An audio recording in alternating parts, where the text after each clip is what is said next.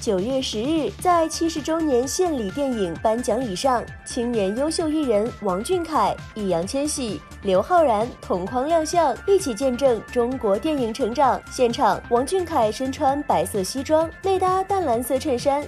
散发迷人绅士气质，更被拍到搀扶老人走下舞台，这样贴心的凯凯，谁能不爱？易烊千玺身穿酒红色西装现身，看起来成熟又有魅力，男子气概十足，相信已经成了很多粉丝们的壁纸和头像了。刘昊然则身穿灰色西装，戴着眼镜，这身造型淡化了刘昊然身上的少年感，让他变得有点成熟，让人感受到熟男的魅力了。三位少年同框，你更 pick 谁？谁呢？